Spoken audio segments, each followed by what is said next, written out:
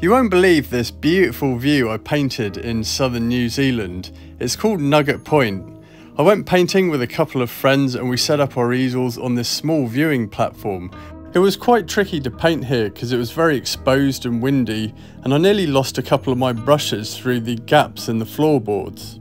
We all had a limited time to paint and we had to paint quickly because the light and the weather conditions were changing.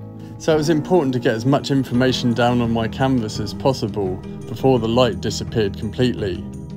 I got my painting finished and I was really happy with it.